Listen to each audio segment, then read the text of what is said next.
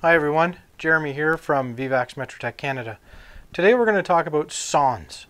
Uh, sondes are something that uh, sometimes get overlooked as well as a useful tool for locating things that we can't typically connect to to do a locate. So what the sonde is, and I'll hold one up here. What the sonde is is basically a tool that emits its own signal. We put a battery inside there, pop your battery in, and it will turn on. A uh, good thing to do is to check it, turn your receiver on to whatever frequency the sonde is. This happens to be 33.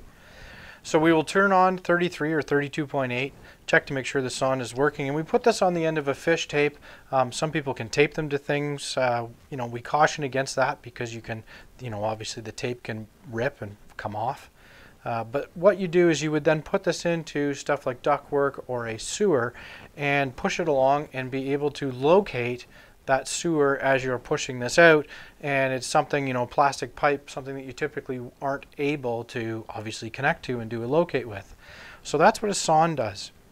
Um, now we have our sondes that we again can put on the end of a fish tape like these um, or you have a camera that you can put that has a sonde into it um, and that will emit its own signal as well so we've got a couple different styles this happens to be our D38 sonde signifies 38 millimeter D64 sonde, um, which again, the larger the sonde, the more powerful it's going to be. So D64, again, this is a 33K or 32.8 sonde.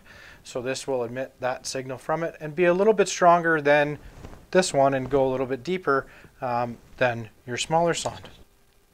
So this here is our D23 sonde. It actually transmits 512 hertz. Um, and so it's good for iron pipes that normally absorb all of our sonde signal.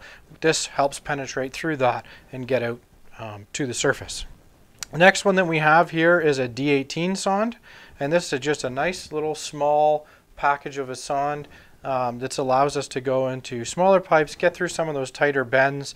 Um, you can couple them sometimes with a, uh, flexible coupler on the end of it to help get through some of the tighter bends uh, in some situations. Again, a 33 kilohertz sonde. Now you can get uh, some of these sondes in different frequencies. The D38 sonde and D64 sonde uh, do come in a, a, few different frequencies. 512 unfortunately not. The, the only 512 one is the D23 sonde. So what I'm going to do now is I'm actually going to turn one of these on and show you with our, it'll be a VLOC 3 series receiver. This one will be a VLOC 3 Pro. Uh, it'll be the same thing for your VLOC 3 cam or any of the VLOC 3 line that can locate sondes, which they all can.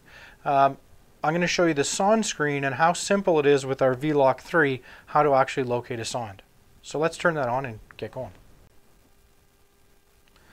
Okay, so now I have my VLOC 3 Pro. I'm in my sonde screen.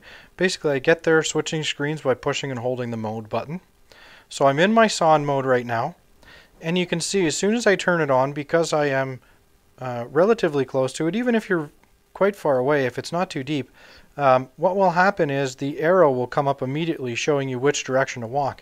Now it does not matter which way I am standing um, that arrow, I'm turning around in a circle now, and that arrow will continue to spin around in 360 degrees just to show us exactly which way our sonde is. Now hiding beneath that, because I am relatively close to the sonde, you can just barely make out the ghost signal which is just below our arrow and we'll be able to see that a little bit later as we carry on. So I'm going to start to walk in the direction that it's telling me to go. So I'm heading forwards and there's that ghost signal that I spoke about. So you can see that there. Often this fools people uh, when using a traditional locate set, uh, which again you would hold traditionally sideways to do the locate. We can now hold this one honestly in any orientation, but that ghost signal trips people up sometimes because we think that that is our actual sonde signal sometimes when I'm probably right now about a foot, foot and a half away from my actual sonde. So I'm going to carry on forward. And what we see when we come over top of the sonde is the red and green. Um, so that is our actual sonde. If I carry on forward even farther, there's that other ghost on the other side. So I can back up again, and you'll notice my gain is way down, and I don't even have my bars up. I can scale this up to have that, but uh, it doesn't even matter. I don't even need to have them on. Um, so I just typically leave them down or, or wherever it is um, because you don't need to have that. The, the locator will figure it out for you. So again, if I turn this in any orientation or walk off to the side, it's just going to tell me to move back and walk back over top of that sonde. So there's our sonde. It also gives us a depth in the uh, top corner there. So one foot six is the depth, and I'd say, yeah, that's pretty darn close to where we are. So I know I'm directly over top of the sonde, and whatever I'm trying to locate or find is right there beneath me. So in conclusion, that's how we locate a sonde. It's quite simple now with this VLOC 3 series of locator. Again, any of the VLOC 3 series that have the sonde function on them will locate it the same way. The screen will look exactly the same and will function exactly the same. So whether you're locating a sonde on a camera head or an external sonde like one of these that I'm using, um, they all function the same way. Just make sure you're tuned into the right frequency on your actual locator.